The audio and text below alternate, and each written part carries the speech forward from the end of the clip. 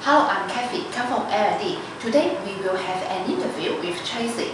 Hello Tracy, uh, could you please introduce yourself? Hi, I'm Tracy from CRB Operation Support Team.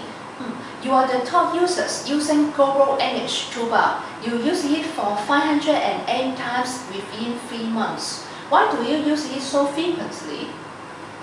My English is not good. I want to improve my English. When I read Global English articles and find words that I don't know, I will use the toolbar to translate them into Chinese and listen to pronunciations.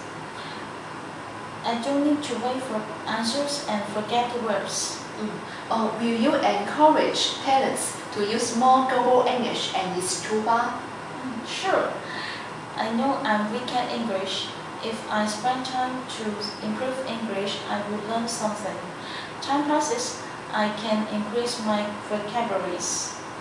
To help, this helps my work and personal growth.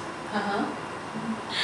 I want to say I'm more confident to communicate with others. Last week, I helped a foreigner who asked for direction in Tianhe. Hmm, I speak in English. I'm very happy. Mm, Thanks for the company give me such a great learning opportunity. Thank you. You're welcome.